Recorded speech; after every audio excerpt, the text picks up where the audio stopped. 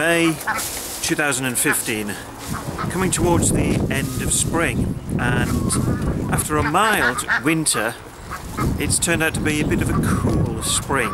So we're hoping that things, the weather, will get, be getting better over the coming weeks. But we are well into our springtime activities as we seek to become self-sufficient. You finished eating from the bag?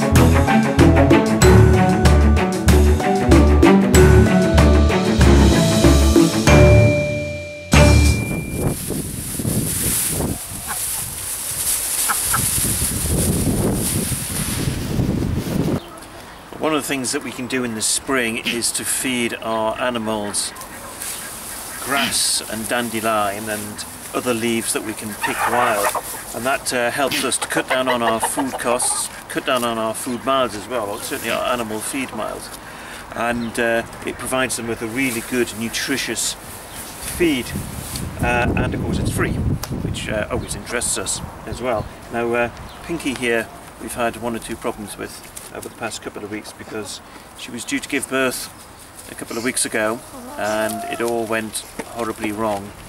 Uh, sadly we lost the two kids uh, and they had to be born by caesarean section. It was a bit of an emergency operation in the middle of the night and a couple of times we thought we were going to lose Pinky as well but uh, as you can see uh, she has pulled through. She's got a healthy diet she healthy appetite, eating well, and uh, we're now milking her as well. So we're getting two, meter, two litres of milk a day.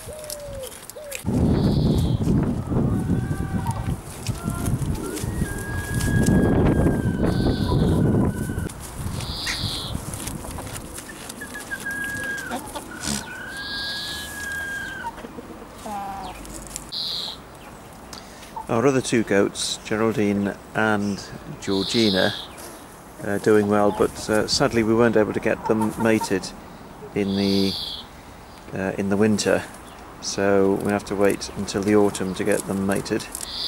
And any kids they produce, we'll be looking to use for meat.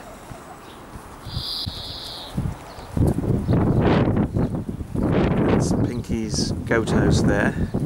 Built it from a few garage doors and a bit of uh, boarding that we were able to get and a good size in there.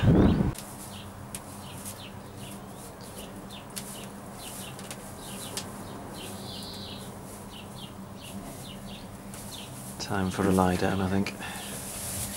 As you can see her udders are filling up quite nicely.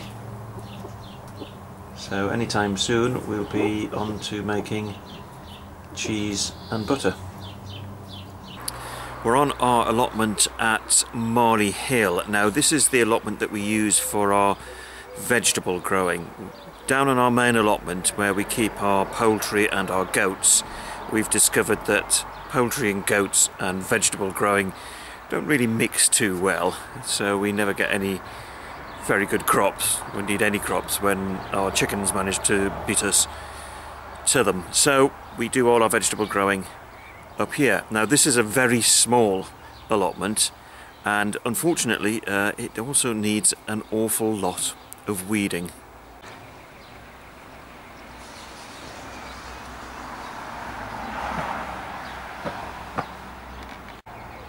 Now this is the bottom of the allotment and believe it or not this is an onion bed and this is where we've allowed the weeds to get completely out of control.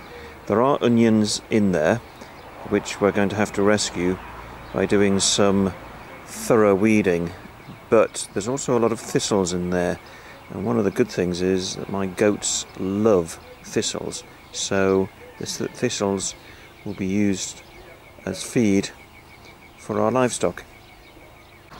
Between the main bed and the second bed we have some soft fruit but also we have mint planted which has gone absolutely berserk. Uh, so we have absolutely mountains of it. So it's trying to spread onto this bed here. So we need to cut a lot of that back. But watch this space because we've been doing an awful lot of cooking with mint. This is the main bed and we've got potatoes at the top there obviously weeding needs doing. Uh, and then onions and garlic and then broad beans here and then this is the other end of the bed which is last year's cabbages. Now most of those cabbages are only good for the hens and the goats who will quite happily chomp their way through all of them. We're here at our house and we're upstairs and our house is a, an important place for our food production as well and in front of me is our spare room and that's the room that we use for incubating our eggs. At the moment we've got three quail chicks that are now ready to go over to the quail house on the allotment. Uh, they're about, um, three weeks old now and there's about another month to go and they'll be fully grown. Uh, they do grow rather rapidly but they're ready now to go outdoors because if we just put the camera over here we need their space for what I hope will be more quails hatching in the next day or so. They are now being taken out of their cradle in the incubator to stop them turning and with a bit of luck we'll get a few more quails hatched ready for them to go to the allotment in about a month's time. This is the self-sufficiency kitchen and we've got a number of things going on here at the moment. May is really the start of the preserve making season so we have in the preserving pan at the moment some orange and lemon marmalade. Now admittedly we don't grow the oranges and lemons ourselves but it's always useful to have marmalades for swapping with other people. That's a bit more of the liquid that's going to go into the marmalade and next to it any guesses as to what this is?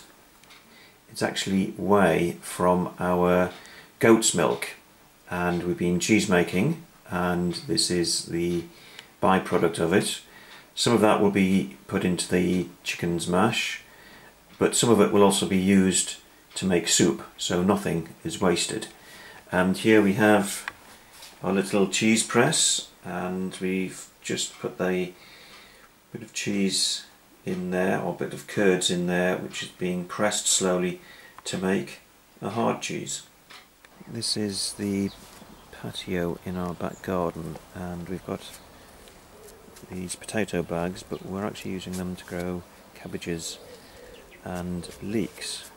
But we've also got on the patio our strawberry pots. Not a massive crop this year so we may be looking to do some swaps with people to get more strawberries. We have one hen who at the moment we're keeping in our fruit cage.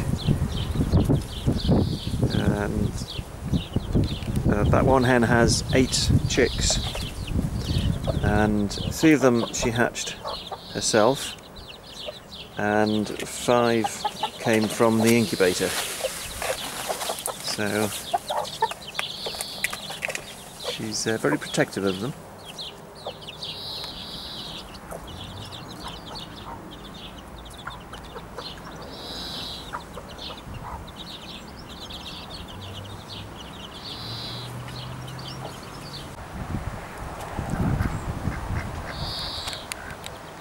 We've got eight ducks and four drakes at the moment.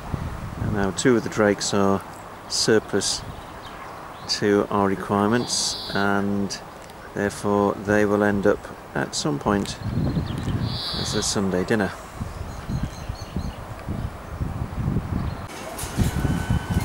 We've got a number of surplus cockerels at the moment so we can't really keep them. Uh, we've got three that we don't want to keep. We've found a home for one, which means that two will also be going for dinner at some point. This is inside our quail house and we have 13 quail, uh, two of them are males and yesterday the hen quails each laid an egg so it's the first time this year that all 11 have laid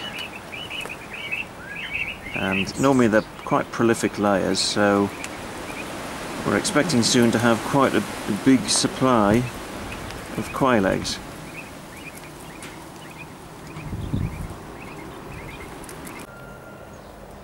This is our herb garden.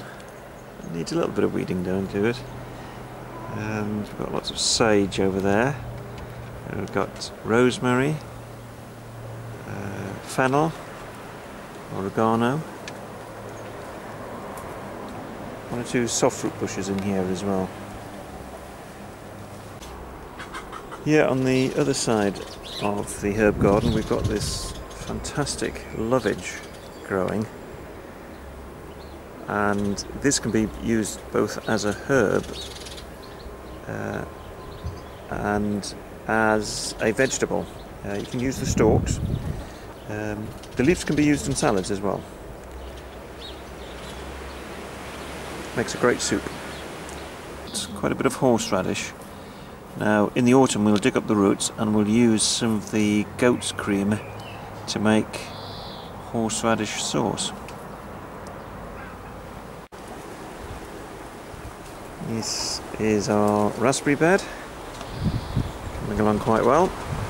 So hopefully we'll have lots more fruit for jam making. We're on one of our two apiaries now. We've got uh, five hives here on this apiary. We did have six, but one of them died over the winter, and we did an inspection a couple of weeks ago found a pile of dead bees in it. Well, we were expecting that because there's been very little activity on the hives. Not a great deal of activity today because the weather's not too good, but the bees you can see are bringing in pollen so that means they've got lots of brood to be feeding. We've put supers on a couple of the hives as well to start collecting the honey for uh, the summer.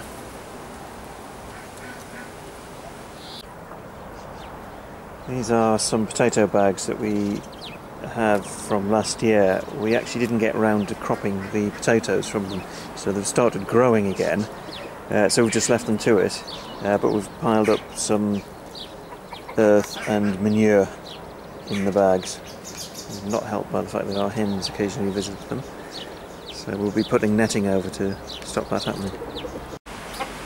We've had to put a mini fruit cage over our gooseberry plants here because Pinky, our goat, was helping ourselves to the leaves. Had to do the same here with the horseradish. The guilty culprits in this time were the ducks and the hens because isn't really interested in horseradish. Well, this is the inside of our greenhouse and uh, there's a number of nettles growing but uh, most of our seedlings have now gone up to our allotment at Marley Hill so that's it for May 2015. Join us next month when hopefully we're going to have a huge quantity of goat's milk to have to deal with.